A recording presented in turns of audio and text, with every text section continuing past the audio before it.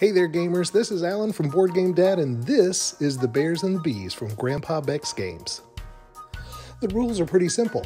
On your turn, you can play a card, draw a card, or discard one card and draw two. When you're playing a card, all cards must touch at least two other cards and match. If you can play a card that matches three cards, you get a bonus play. These bonus plays can cascade, creating awesome turns. There are six different types of cards. There's the Queen Bee, which you start with, regular honeycomb cards, and drone cards, which are half wild.